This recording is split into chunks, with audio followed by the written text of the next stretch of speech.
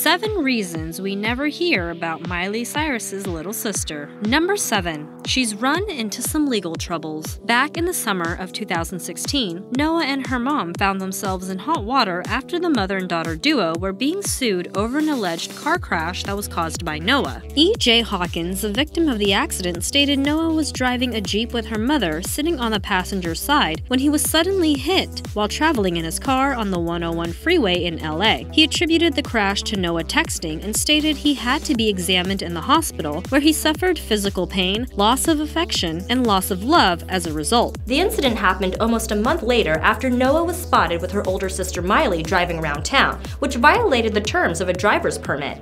She was 15 at the time and was not allowed behind the wheel until she was 16 and had an adult driver who was 25 years or older to supervise. Number 6. She's preoccupied recording new songs. Noah released her new single called Make Me Cry, featuring UK singer Labrinth back in 2016. The song is the first one from her studio album, NC17, and it reached number 46 on the peak chart positions. The song also has more than 40 million views on YouTube since it was posted in late November of that year, and we can see where Noah gets her musical skills from. The song is about being in a complicated relationship, and many fans were also surprised when she delivered an emotional acoustic performance on Jimmy Fallon's The Tonight Show. Many people likened her voice to her older sister Miley, and many people gave her favorable comments about her vocals. Number 5. She's still trying to make a name for herself. The youngest Cyrus member has yet to establish an extensive career. She first started acting in the Canadian series Doc, making guest appearances alongside her father, Billy Ray.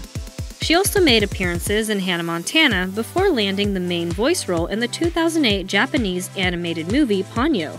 Other minor television roles Noah also started was The Joey and Elise Show, The Hugo and Rita Show, and Take Two. Despite having an early start in the world of acting, Noah is still in the works of establishing her career in film and TV. But coming from a family who's been in show business, I'm sure she won't have any trouble catching more roles. Number 4. She's occupied with her horses. In the summer of 2016, Noah hit a rough patch in life when she was forced to say goodbye to her animal companion, Constantine. Her horse had developed a tumor and she wanted to spare him the pain and suffering, so she made the difficult choice to put him down. Noah took to Instagram to express her heartbreak and thank her horse for all the fun times they shared during her childhood. The starlet told Horse Nation magazine back in 2013 that she was the happiest when she was spending time with her horses, and even thought about going to the Olympics for riding and becoming a trainer. Noah is an avid equestrian and competed at a horse show back in 2012 with her horse Comet. Horses have always been an important part of her and her family's life, especially since they had grown up with animals when they lived on a 500 acre farm near Nashville, Tennessee. Number 3. She's busy campaigning for PETA. Back in 2015, Noah partnered up with PETA to pose in a controversial advertisement for the campaign that features her as a departed corpse being dissected in a classroom laboratory. In the spread, she is seen with her chest exposed and the skin peeled back, exposing her body organs. Her skin is pale and she is surrounded by surgical tools and animal dissection books. The ad states, I am not a classroom experiment, and neither are cats, frogs, rats, pigs, etc. Please choose not to dissect. Cyrus went on to say that if you feel weird about dissecting something, say no. She hopes her stance encourages students to refuse to examine animals if they are against it. A few years ago, Cyrus also starred in a PETA Kids video against circus animal cruelty, citing that the circus takes away an animal's habitat and home, and that they deserve to be free. Number 2. She's being compared to Miley. For those of you who have older siblings, you know the pain of always being compared to them and their achievements. Well, the same goes for celebrity siblings, but with Miley and Noah, there's no sibling rivalry here. In fact, Noah goes on to say that her older sister is supportive of her and even advised her to refrain from Googling yourself since there are many internet trolls and haters. Noah says she has her big sister to thank for the guidance and tips, but states that she is also aware of the sister comparisons. She said she acknowledges that people will assume that they sound alike and that it doesn't bother her or surprise her. Because she hails from a prosperous family of musicians, sometimes being compared to your family isn't always a bad thing. Number 1. She's still trying to grow up. Born in 2000, the starlet is one year shy of her 18th birthday and still has a lot of growing up to do. At only 17 years old, her music career is off to a great start, but she is also still a teen who is enjoying the world around her. Growing up in the public eye isn't always easy, and constantly being watched by the media and the paparazzi can be draining and annoying. The pressures of Hollywood can break anyone down,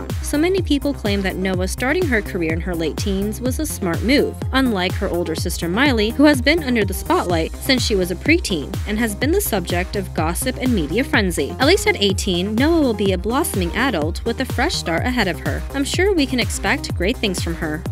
If you like this video, please give it a thumbs up. Thanks for watching.